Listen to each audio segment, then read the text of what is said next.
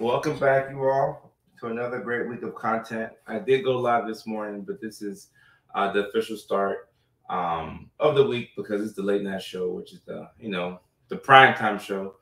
Uh, my name is Dr. Kojo. I'm checking in live from sunny Los Angeles, California. Uh, and before we get into the topic, I want you all to go ahead and um, let me know where y'all are checking in from, so we can get into it.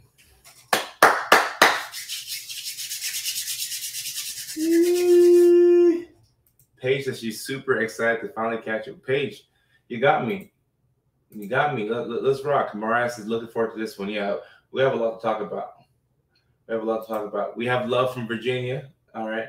South Carolina in the house. Los Angeles in the house. Nebraska, Texas, Indies. Uh, I'm having an amazing day. Thank you for asking. Utah in the house. My man Jordan just got out of a very toxic relationship. I'm happy you got out.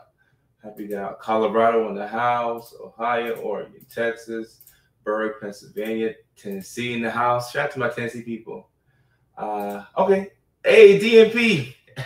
hey, Dr. Turks, how you doing? Checking in from Atlanta, Georgia, Moultrie, Cumberland, Virginia, New York, Minnesota, Texas. Hey, big love for Texas. I love my people in Texas. Uh, Calgary, big love for my Canadians as well. So people all over. All right, y'all. So we're gonna be talking about sex today. So um, you know, I've had a lot of DMs about uh, you know how ADHD can affect your sex life, and you know, vice versa. Um, and uh, you know, I've, I've looked at the evidence, and there's a couple of things that I want to point out uh, when it comes to ADHD, and you know, when we talk about sex, right? And the first thing that I want to start off by saying is that ADHD affects all parts of your life, right? It'll affect your relationships. It can affect, um, you know, your life at work, your life at school, um, and your interpersonal relationships, right? And then your relationships with anybody. And it can also affect how you feel about yourself, your mood, your self esteem, your confidence. Uh, and it most definitely does affect um, your sex uh, life. Uh, or it can, I don't say it, it, it always does, but it can um, affect your sex life. And I want to start off by talking about this study, you know, that was in Syracuse University uh, and what was found. You know, uh, I'm not shocked uh, by this, you know, knowing how ADHD works. Uh, but I want to go ahead and you know get into it. So this is a study done uh, from researchers at Syracuse University. I think Syracuse is in New York, right? Um, I think I could be wrong. And uh, they conducted a secondary data analysis, the National College Health Assessment, and they asked sexually active undergraduate students uh, to report on their sexual activity, right? And uh, they used to, to get to the point of it. What they found is that students with ADHD, um, this is actually very interesting. They uh, highlighted it somewhere here. Oh, perfect, right here, right here, right here. This this is what we want to get to. This is this this this is why we're all here. Um, you know, the people from Syracuse University found in their study the results results, or I say it like that. Results show that college students with ADHD reported more past year sexual partners. Number one, lower rates of condom use, and higher rates of condom-less sex while drinking, thus significantly raising the risk among students with ADHD for STI diagnoses, unplanned pregnancy, and emergency contraception use.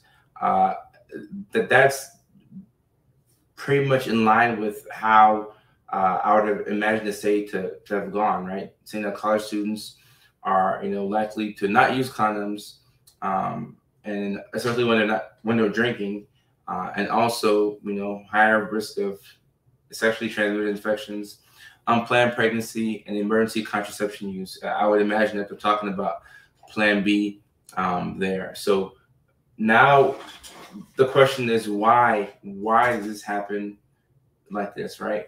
You're probably wondering why. What is it about ADHD that lends itself to people having a higher number of sexual partners and you know, not using protection and, and having potential unplanned pregnancies and also potential sexually transmitted infections. What is it about ADHD?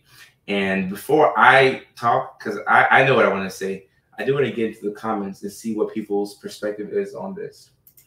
Brandon saying, so basically we're high risk over uh, high risk sexual. Uh, you could be. I don't want to say that ADHD is good. Just because you have ADHD does not mean that you will be like this. But there's a chance that a good amount of people with ADHD may struggle with things like this. Christy, I do appreciate you. Man, thank you so much. Uh, Tay, thank you so much. Baby says communication. You have to be straight about it as possible. What's she talking about? I'm not sure. Um, let me get people's feedback. Dopamine, uh, yeah, dopamine rush. You know, because there's some type of thrill that comes with, you know, to be honest, there's a thrill that comes with sleeping with somebody you never slept with before, right? The curiosity. You don't know the person. Are you gonna like them? Or Are you not gonna like them? You know, and sometimes with ADHD, you see these dopamine seeking behaviors, right? Uh, and as we know, if we just blindly like follow the dopamine, that's not going to be in our best um, interest, right? Because we have to, you know, things need to be premeditated. We have to think things through, right? Nothing is wrong with unprotected sex, right? But like you want to have at least kind of planned for it, you know, kind of know, you know, what that person is doing, what you're doing. Um, you're right. Like Griffin is saying, uh, it's the risk taking. Um, and I don't want people to think that if you have ADHD, you're you're you're doomed and you feel, you're gonna have unplanned pregnancy or you're gonna make poor sexual choices. No, the key is to minimize the risk, right? You still may be who you are, but the key is to minimize the risk just a little bit, right? Um, and uh, Rainy says condom use, I would say out of sight, out of mind. So rainy day, I don't think this is just an ADHD thing, uh, but it does have something to do with impulsivity, you know. But a lot of times, uh, you know, it's going to be very awkward, right? If we're all speaking as adults, it can be awkward if, you know, you, you are about to engage, you know, in a Mickey Ficky with another consenting adult, right? Um, and then you look for, you know, the protection. You can't find it anywhere, out of sight, out of mind, right? Uh, um, Tan says, Angie, get bored drinking and forget. Those my thoughts. Okay, respect. Um, dopamine, seeking dopamine for sexuality makes perfect sense. And yeah, so for me, this makes perfect sense, right? And you have to understand that with ADHD, some people call it superpower, right? I don't know if I would agree that it's a superpower, but there's parts of ADHD that can be beneficial to you, and you can use it to, you know, take you to the next step in life.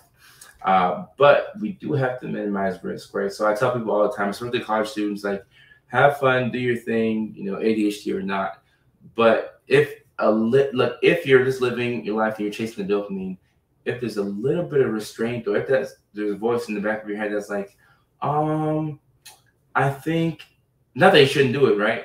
Do what you want, but the voice in your head that's like, ah, uh, before I do this, let me make sure that I have my ducks in a row. Let me make sure that I'm, you know, that I'm, I, I know everything I need to know about this person, right? Or I'm, I'm ready to do this. You may not want, you know, to act. You may not have wanted to done that with that person, but because you're working so fast, you're like, oh, this person, they're attractive. I'm gonna do this, right? Boom, boom, boom, and you don't get a chance to really like breathe, gather your thoughts, figure out, do I, do I really like this person? Do I want to do this or not? I always say that people should do things that they want to do, right? Um, let me see. The little voice is a risk, right? Catherine, I, I completely agree. That little voice is like, do we really want to do this? How long have we known this person? Um, and and sometimes, you know, like for those of us who work in healthcare, we know that anybody can have any type of sexually transmitted infection, and you can't look at somebody and be like, mm, I, I think they're good. You can't really do that, right? We don't know. Uh, so sometimes, you know, that little voice in your head is like, we may not. This might not be the smartest thing, right? And then you have another voice that's saying, ah, well, they look fine. I should be fine. Or they don't look like, you know, they're talking to anybody else, right? But sometimes there's a simple conversation, right? Because we've done, you know, lives on this channel about uh, polyamory, right, and ADHD and alternative relationships. So sometimes just a simple conversation could save you. You talk to the person and say, "Hey, are you like doing anything with anybody else? Are you like wearing protection, or like, or what's going on?" And and they may say, "Yeah, I'm doing so and so with someone somebody, but I'm taking care of myself, or you know, whatever the case is. But at least you have more information. Uh, you can make a a better informed decision that way, right? Not to say that you know it absolves you of you know STDs or whatever, but you can make a better decision um, for yourself. I mean, it's it's like playing roulette with your health, though, and yes, but at the same time, you have to understand that you know for those with ADHD, like you're moving so fast that you don't give yourself time to think, you know, and more than likely because we know that ADHD is neurodevelopmental, right? We know that you you've probably been this way your whole life, right? But you know, when you're a child, you're not engaging in these types of activities, right? Hopefully, uh, so when you're a child, you're you know you're being impulsive with taking somebody's toys or you know like things that you know things that children would engage in you know, and then you have consequences for those things. But uh, as you become an adult, the things that we engage in are different, and there's different. Cons- the stakes are much higher. stakes are much higher, so just gotta be just gotta be a little careful, right? Let me. um uh Daniel says, "I'm the weirdo trying to analyze if the other person is actually enjoying themselves or faking it, and forget to." fake it or forget. Uh, well, hey, respect. If if you're trying to, you know, people can fake things, right? You can fake interest. You know, you can fake orgasms. But hey, I mean, I, I respect it here. I respect it here. Stephine says, since I'm a Christian and I believe sex is for marriage, I always jumped right into marriage before really getting to know the men. That God, the last one is to keep it going nine years. Well, Stephine, um, congratulations on you know being married for almost a decade. And this is nothing that we don't talk about because, you know, for my Christians out there, you know, and I'm a Christian as well, uh, you know, the, the, the idea is no sex before marriage, right? Um, not everybody, the majority of us are not able to do that, but the idea is no sex before marriage. Sometimes you see that the other way where like somebody might not engage in sex, premarital sex, but you know, if they're impulsive, you you might hop into a marriage, you know, and not that you're marrying somebody to have sex with them, but in the back of your head, you're like, all right, once I'm married, then I can have sex without guilt and shame. But you may have like gone too fast and like married the wrong person. Uh, but I'm happy that you found somebody who uh, works for you here. You know, that that makes me feel good. Um, let me get to some more uh, comments. I have the opposite problem. I'm too hard on myself and hyper focused on what others think too much. Unless I'm seriously emotionally connected with someone, I don't even think about this. It becomes a problem at times. So, Chelsea, this is your experience, right? So we have to validate your experience. So this is another end of the spectrum, right, where you're not even thinking about sex, right? Which is, you know, like the opposite of like hypersexuality and impulsivity. And you're saying that it's a problem for you. So I think there's that battle of trying to figure out like what's what's normal for you like what's the balance right you don't want to have too much of a drive or you don't want to have too low of a drive there's that sweet spot that everybody has to find right and um, jessica says i really love to meet those who waited on having sex until married I, jessica that would be an interesting poll too i don't know, I don't know i'm the, the person who's uh, equipped to have that poll right uh, but it'd be interesting you know for, for research purposes, right? I've been married three times. I'm really good at getting married. I'm not good at staying there. I want too much. Uh, well, Amanda, you know, I, I don't think when a marriage dissolves, I don't think it's just one person's fault, right? You know, Ellen, nice, nice to see you. Uh, uh, oh, from uh, from TikTok. What's up? How you doing? All right, let me see. Uh, as consent Brett, I, I agree, you know, and sometimes people like this study that was done by people at Syracuse University, it's not, I don't think that they came up with a study to like, you know, put a stigma on people with ADHD. It's more so to say, hey, you know, people with ADHD have been shown to possibly do this, right? So just put a couple of safeguards in place and then, you know, to still have your fun. The idea is not to tell people to not have fun, like enjoy responsibly, but just you know, at least if you can plan for it, right? It doesn't make it as fun if you plan for it, but sometimes if you plan for it, you may decide that I don't like this person, right? Or I don't want to do this, right? You know, or, I, or I don't want to go drinking tonight, or whatever the case may be. Um, is there any studies? Uh, Sam, yeah, there's tons of studies. In fact, I had like, you know, 12 tabs open and I canceled them so I could focus on this one uh, study right here. But there is, in my opinion, there's uh, pretty strong evidence um, between ADHD and um, the likelihood of sex- sexual dysfunction, right? Whether it's hypersexuality or hypo, you know, sexual se- sexuality where you don't have as much of a desire. Brett says, I waited on my first marriage a year and a half, worst mistake of my life. We weren't sexually compatible. Uh, I've seen many people say this, not just men. Um, you know, so I'm not saying that somebody's right and somebody's wrong, but I've seen many people say this. Um, Leah, I'm diagnosed ADHD medicated. I often find it hard to have, and I, I think you, you meant orgasm instead of organism. Orgasm. Is that normal? All right, so here's the thing. You know, a lot of medications can, you know, alter your sex drive, either, you know, boost it or decrease it. Um, and I don't think I'm the most qualified person to answer this question. Let me just start off with that.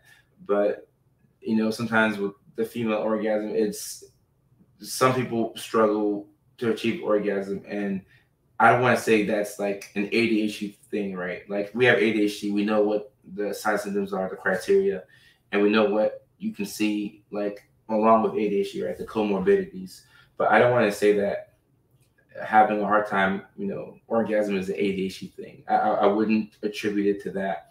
Uh, but I'll just go out and say I don't think I'm the most qualified to answer this question.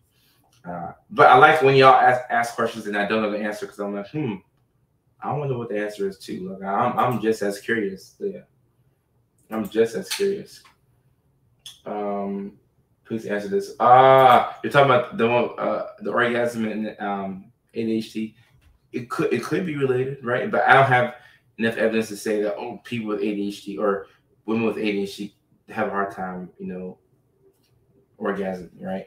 I, I can't say that straight up.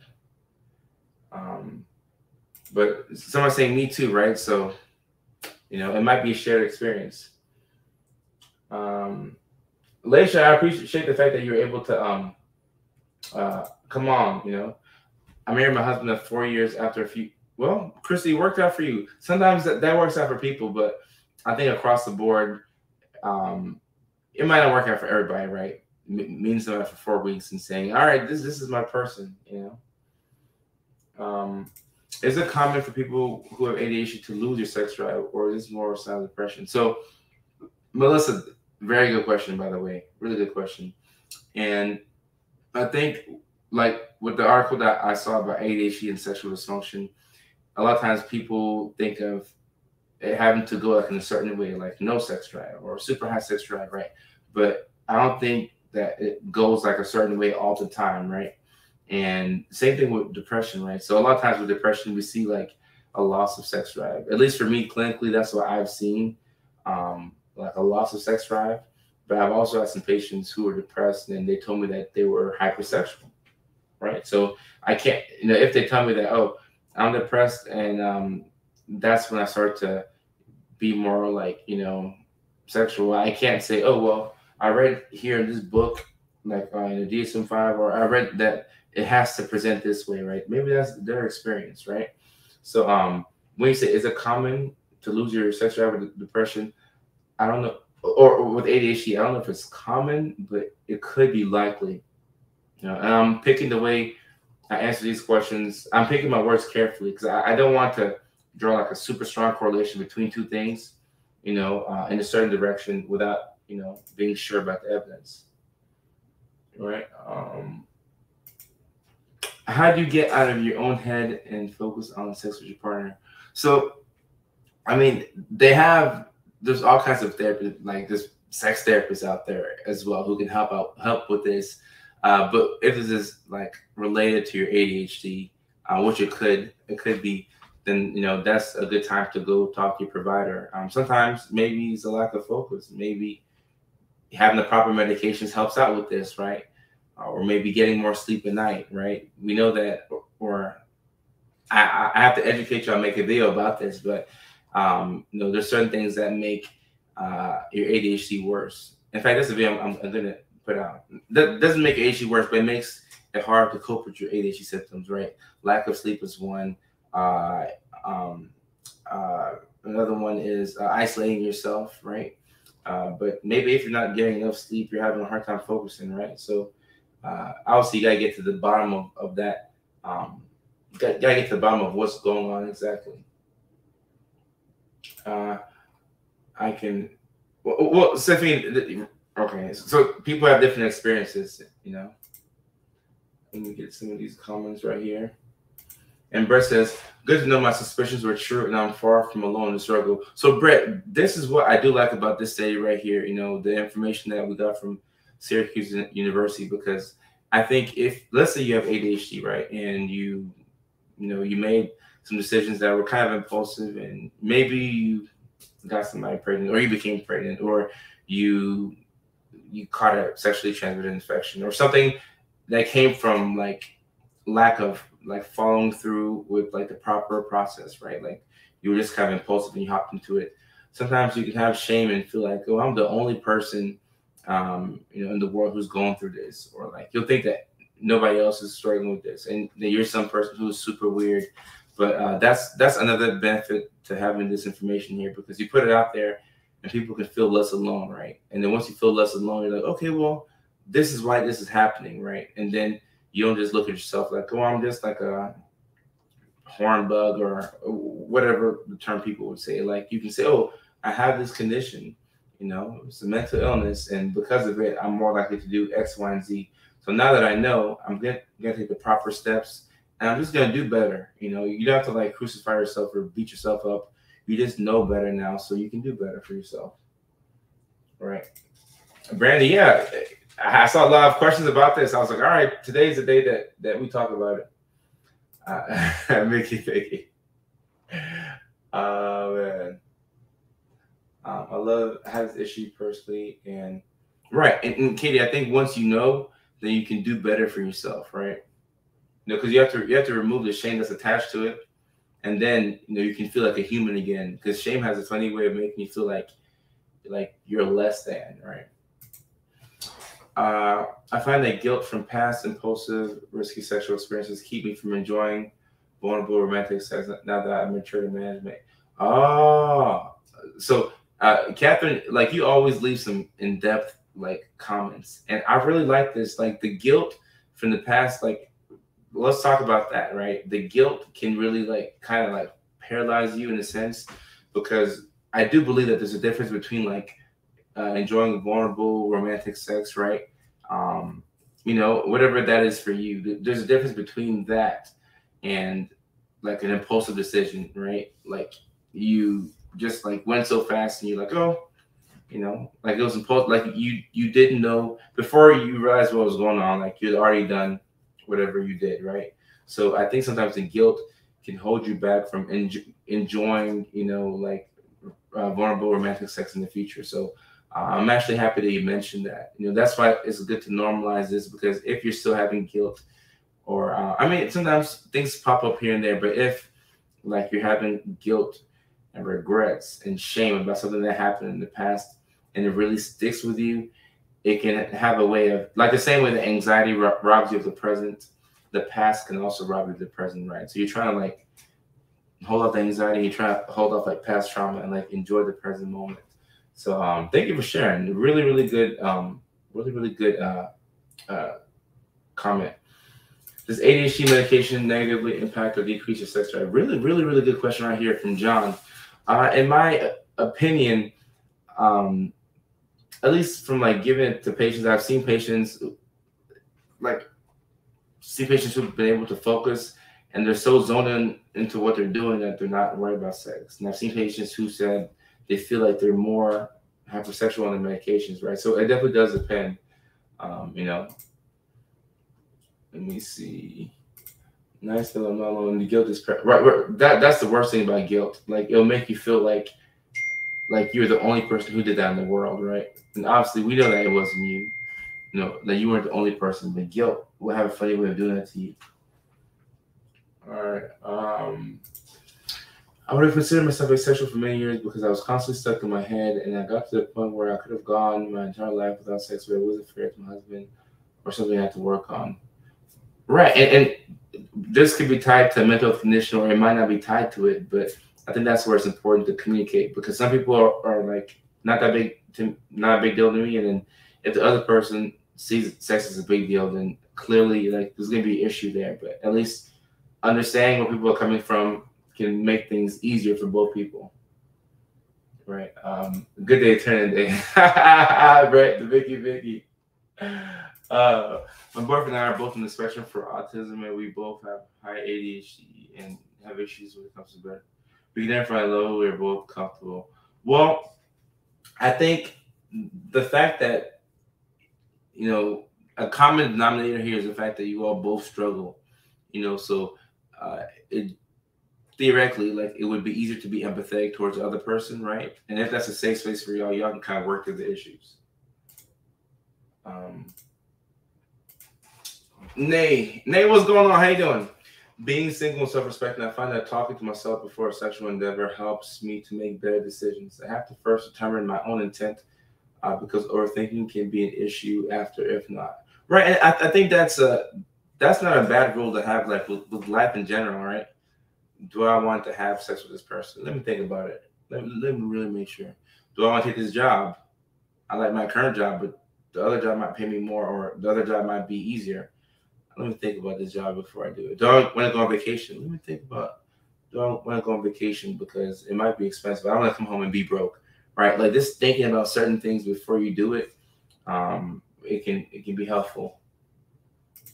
Uh, I understand that feeling. I feel guilty for jumping into marriages with my exes before really getting to know them, right? And I, I think one thing with um, with with ADHD, but also with mental health in general, uh, you know, impulsivity, right? Whether you're impulsive because you have a mood disorder like bipolar, or you're impulsive because of ADHD, or impulsive because of borderline, or j- just maybe you have no condition, but you j- you've made impulsive decisions from time to time. I think everybody's able to like have empathy for the other person and not judge, right? Like this, at least this space right here is like a non-judgmental space, but um, like in the real world, you go out there and there's judgment, but like within the world, there are people who have their own struggles and they're like, you know what, like what you did maybe like it wasn't in your own best interest, but you have to give yourself, you know, credit for trying to move past that. Um, I'm still hypersexual, but I've done a lot of healing my work. My partner's having a hard time keeping up though, and now I'm getting depressed because I'm not getting my needs met. But I only want right. So when only one when only one person wants a certain thing, uh, in any type of relationship or agreement or you know collaboration, uh, there's going to be an issue there, right? So trying to meet the other person halfway, um, and it can be difficult, right? If somebody's like, I don't want to have sex, another person's like, I want to have it all the time. There's going to be issues there, clearly, right? Um, but finding a way to compromise, or at least opening yourselves up to, you know, trying to see the other person's perspective and meeting the other person halfway. Um, I think that the answer lies somewhere in between. Like if this is Claire and the other person, the answer lies somewhere um, in the middle. Yeah. Supposed to become a cougar. what, what, are we talking about? I must have skipped the chapter. What's up? Jennifer says, single here. I don't enjoy sex. My brain wanders and I get self-conscious. At this point, I don't have any drive because, uh, and, and now, now if you don't legitimately enjoy, some people just don't enjoy certain things like sex and they're fine with it, and that's fine. Um, but if you don't enjoy it, but you wish that you were enjoying more, I think that's you know the perfect time to check in, you know, with your your local provider, your doctor, and, and just see like, you know, things could be leading to like a loss of drive, you know. Like you said, the um, you know, feeling self-conscious. And maybe therapy gets you back, you know, into you know, shape, you know, to do whatever you want to do. Or, you know, depression can look like a low sex drive. A lot of different things, right? Um I feel like I never realized this. I'm impulsive from BPD and constantly over overthink. Can't enjoy it.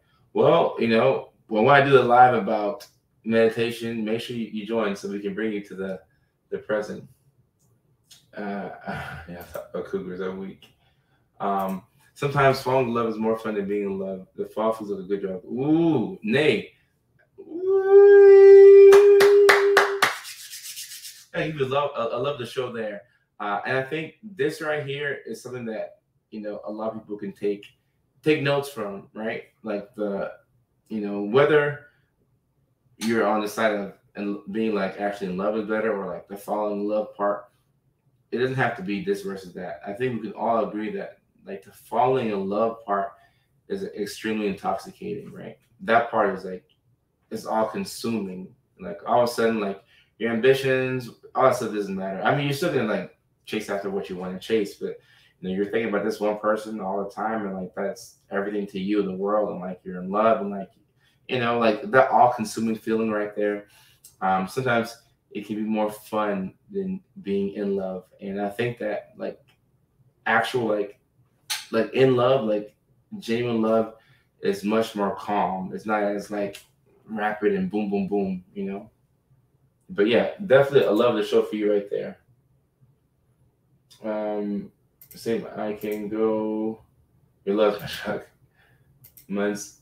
Yeah, and and look for some people, sex is not a big of a, a need, right? So I think also this is another thing to talk about before like you get married, right?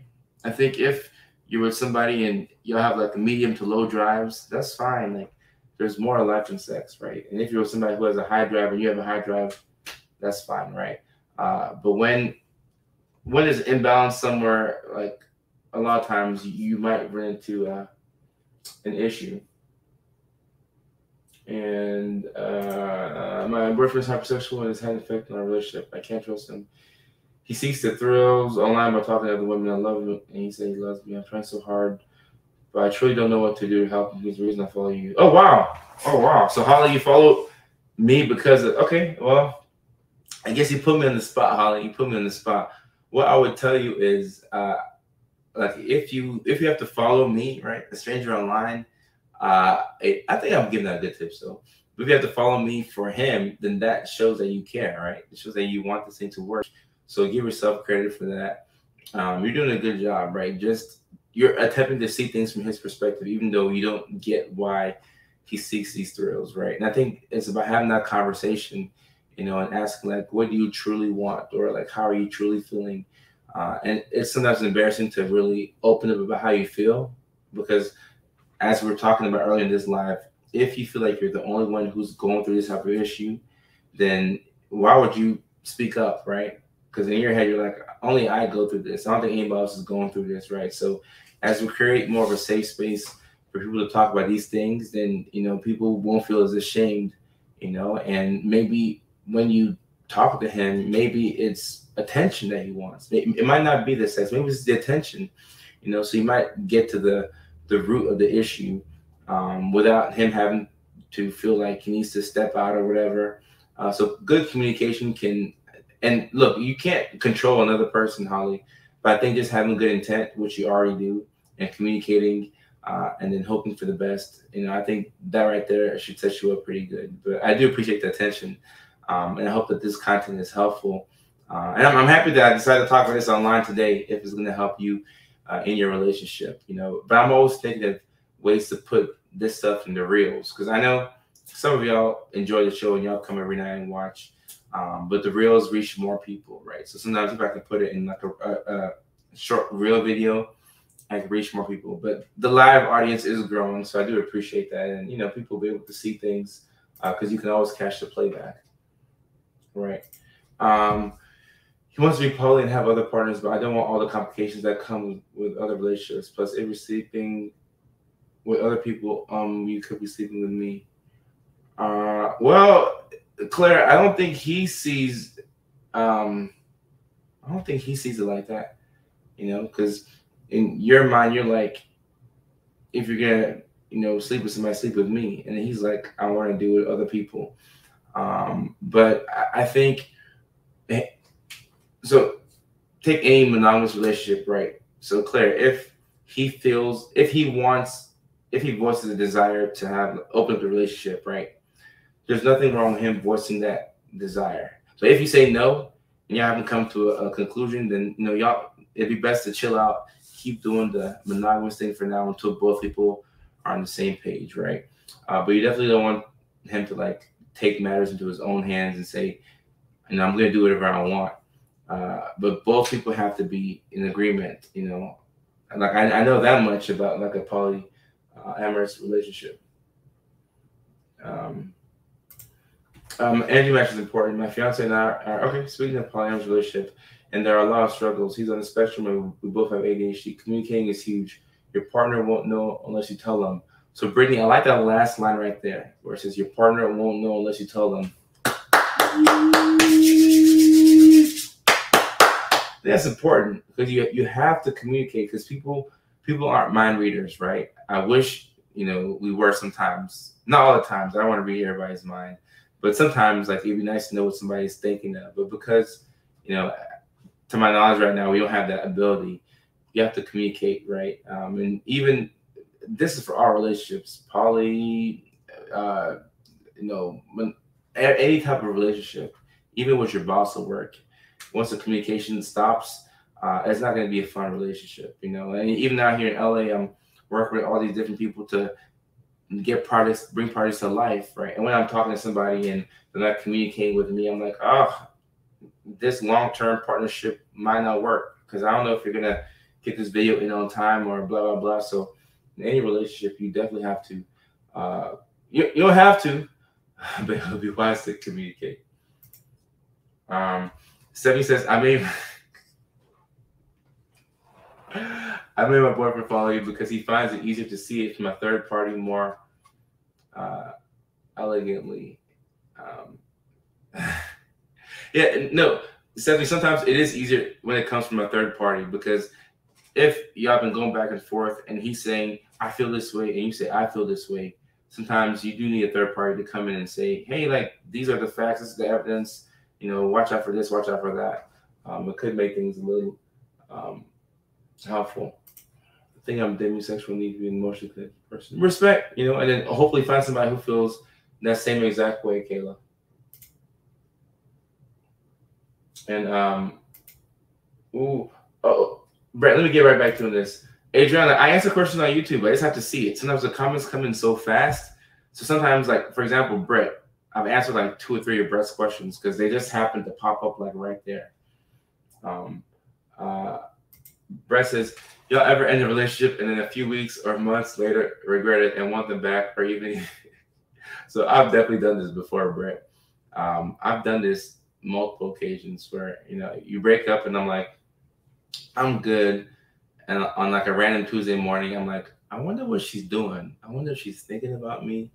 I know she's thinking about me I hope she's thinking about me, you know. And then you get into the whole thing where you you scroll on the social media and like it's not productive at all.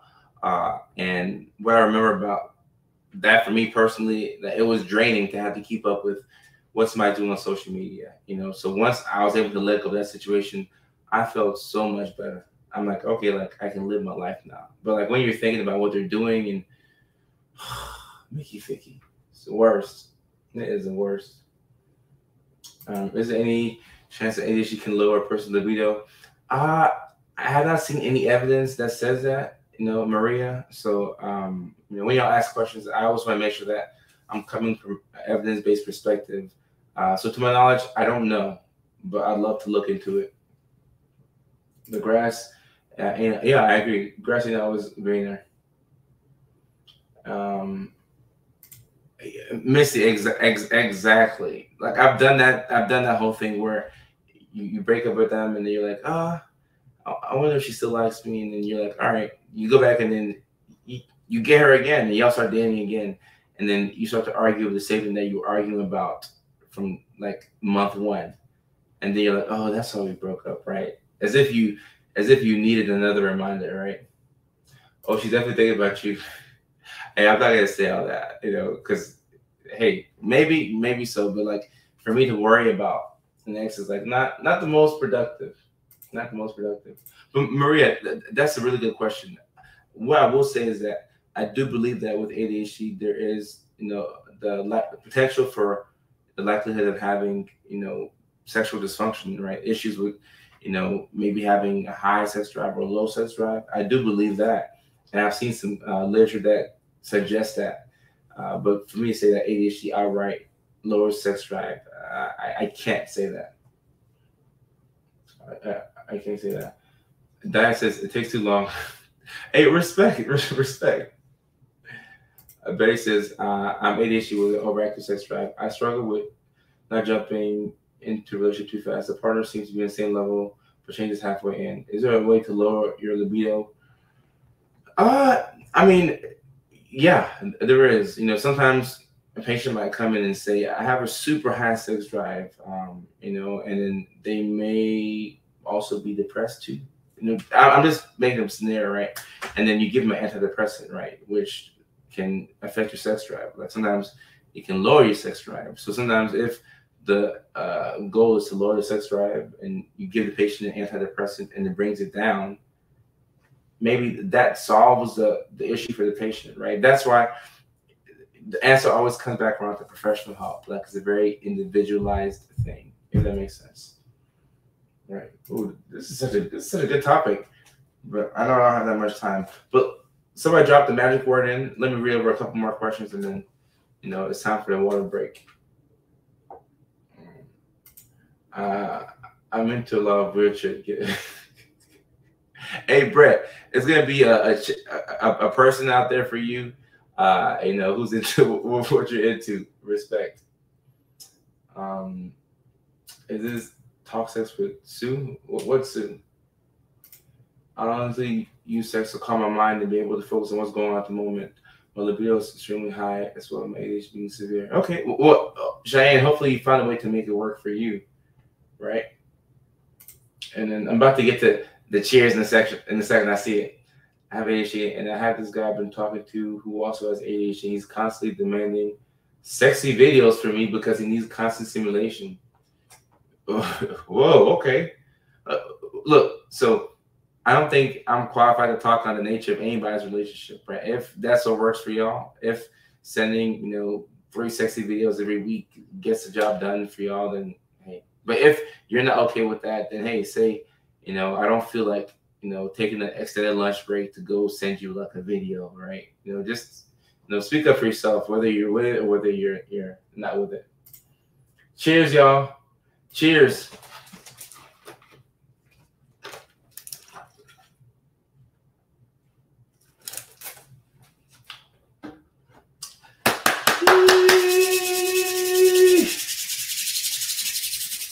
Cheers, cheers, cheers, cheers.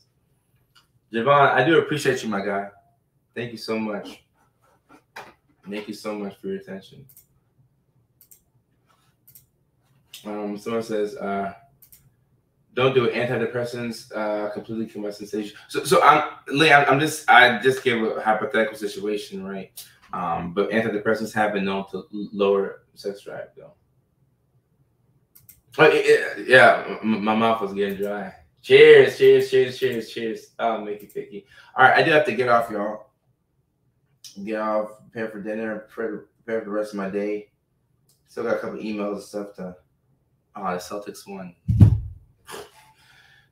Root the, the, um, the Nets. But all right, y'all. So I have to get off. Uh, but this was a really good discussion. Really, really good discussion. Now I'll be looking through some of the comments for more feedback uh, after the fact. But I gotta get off. I will see you all tomorrow. Peace. Take care. Love y'all.